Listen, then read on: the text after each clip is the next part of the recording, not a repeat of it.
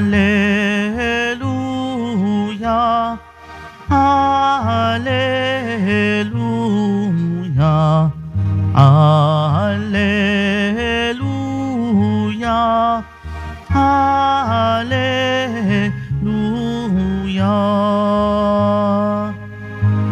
Espiritu'y magtuturo ng aral at pagkukuro ni Jesus na ating guro. Hallelujah. Hallelujah. Hallelujah.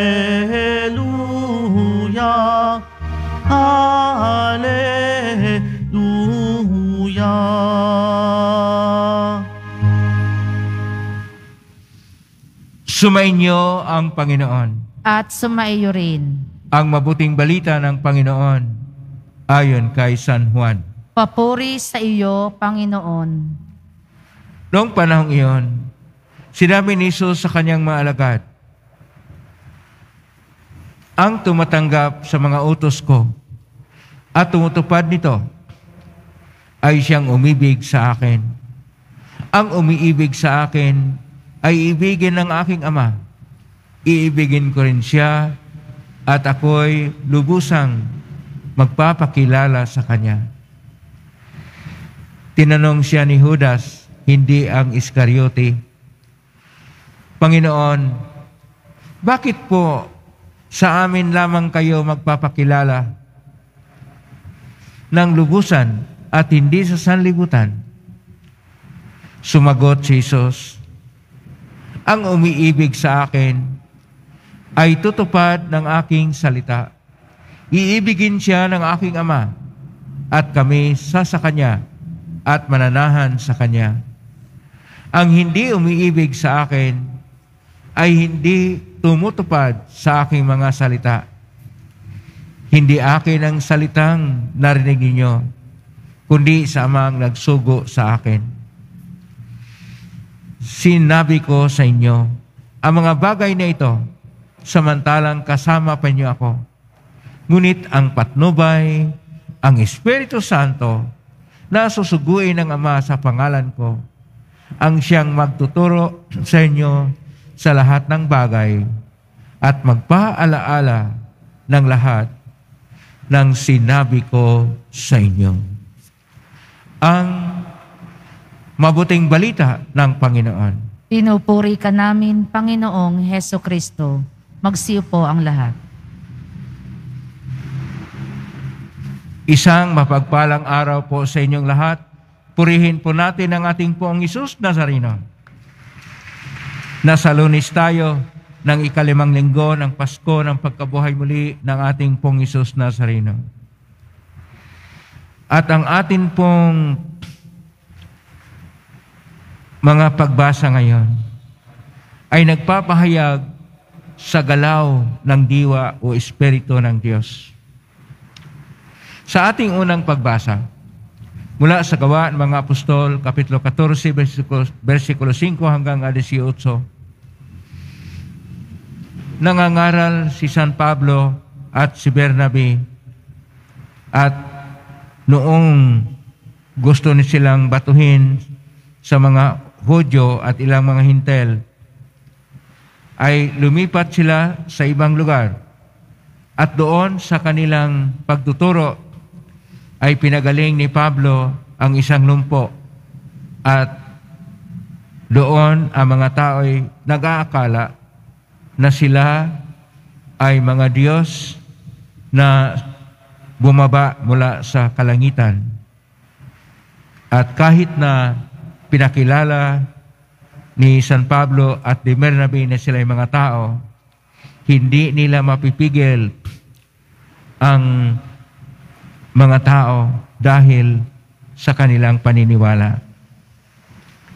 Pero kinakailangan na, na may pahayag at nahipayag nga ni San Pablo na sila ay nagdala ng mabuting balita tungkol sa tunay na pananalig o panampalataya. Na ayon pa sa ating Salmo 115 na ang Panginoon ang siyang dapat purihan at ang kanyang pangalan ay siyang igalang. Na siya ang tunay na Diyos at hindi yung mga Diyos-Diyosan na mga tao. Sa ating Ebanghelyo ni San Juan, Kapitulo 14, verso 21 hanggang 26. Sa tulong ng ating Panginoong Isus ay unti-unting namulat ang mga apostol sa malalim na kahulugan ng pagsabuhay ng Ebanghelyo o mabuting balita. Pero tinatanong pa rin siya ni Judas Tadios, bakit sa kanila lang na- nagpakilala ng lubusan at hindi sa lahat? At ang sinabi ng Panginoon na una, ang tungkol sa pag-ibig. Ang pag-ibig na siyang tutulong sa kanila na makiisa kay Jesus sa diwa at dahil makiisa sa ating Panginoon sa diwa, tatanggap na at makatanggap at makaunawa ng mga pagtuturo na malalim tungkol sa Ebanghelyo. At hindi lang yon, sinasabi pa na ating Panginoon na dahil sa pag-ibig o agape, ay makilala nila ng lubusan ang ating Panginoon. At dahil makilala ng lubusan, kanila pong makikita na ang lahat ng tinuturo ng Panginoon na tinatawag na mabuting balita o ebanghelyo ay nagmula sa Ama. At dahil nagmula sa Ama, ang kanila pong matatanggap ay ang katotohanan sa mabuting balita. At pangatlo, na kung ang ating Panginoon ay paakyat na sa langit, Kanya pong ipadala ang Espiritu Santo na tinatawag niyang Paraklito o Patnubay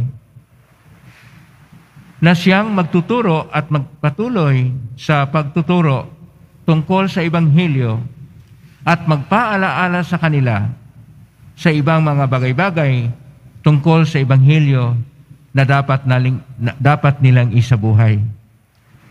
Dito sa Ebanghelyo ni San Juan, Kapilo 14, versikulo 26, ay sinasabi ng ating Panginoon na ang patnubay, ang Espiritu Santo, na susuguin ng Ama sa pangalan ko, ang siyang magtuturo sa inyo ng lahat ng bagay at magpaalaala ng lahat sa sinasabi ko sa inyo. Ang mahalaga po dito, ay ang ating pagtingin na ang salitang paraklitos o patnubay na salita ng Espiritu Santo ay mayroon pong tinatawag na pag-uunlad ng antas sa pagpapahayag sa Ebanghelyo ni San Juan. Sa mga unang bahagi sa Ebanghelyo ni San Juan ay pinapahayag ang tungkol sa Diyos ng may dakilang pag-ibig ng tao. At hindi na Diyos na nababatay sa kautusan. Kaya sinasabi ngayon sa Ebanghelyo ni San Juan Kapitulo 14, verso 21, na ang kanyang mga utos, ang nakasulat po ay antolas, ay dapat na kanilang kanila pong sundin. Kaiba po ito sa kautusan na mabasa sa aklat ng Exodus Kapitulo 20 at aklat ng Deuteronomio Kapitulo 5 na ito yung kautusan na tinuturo ni Moises na dapat sundin ng tao pero hindi ito ang magdadala ng buhay na hanggan kagaya ng tinuturo ng ating Panginoong Isus na kanyang kautusang bago sa mabuting balita. Dapat po nating tingnan na dalawa po ang utos ng Panginoon sa kanyang pagtuturo. Una, ang kautusan tungkol sa pag-ibig, Ebanghelyo San Juan, Kapitulo 13, verso 34 hanggang 35, at ang kautusan tungkol sa pananalig o panampalataya sa Kanya. Ebanghelyo San Juan, Kapitulo 14, at ito ang kautusan na iniwan ng Panginoon. Sapagkat ang Diyos ay napahayag una sa lahat na isang espiritu, Banghilyo ni San Juan Kapitulo 4, verso 24, na nagbibigay buhay. Pero ngayon, hindi na lang ang Diyos ay espiritu, siya mismo ay patnubay na. Siya mismo ay ta- tagatulong na. Siya mismo ay siyang magbigay ng inspirasyon, ng kapangyarihan na magmulat at tutulong upang ipangaral pa ang hindi pa na ipahayag ng ating Panginoon. At sa patnubay ng Espiritu Santo, ang simbahan magpahangga ngayon ay tinutulungan ng Panginoon upang harapin ang mga iba't ibang mga hamon sa panibagong panahon. Ang salita pong paraklitos ay limang bisis lang po sa bagong testamento.